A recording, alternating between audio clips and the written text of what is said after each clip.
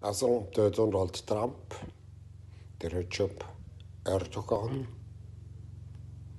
und der Wladimir Putin sind sehr korrupte Staatsoberhäupter und tun sich sehr stark bereichern, was sie nur können.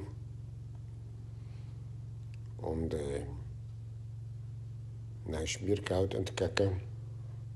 Und jetzt einer, den ich noch vergessen habe, der, Lust, der lustigste von allen, der Silvio Berlusconi, ist auch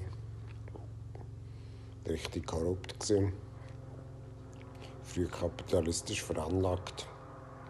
Und das Beste wäre es jetzt natürlich einfach, wenn die vier fehlbaren Staatsoberhäupter ihr Geld einfach würden mir überschreiben.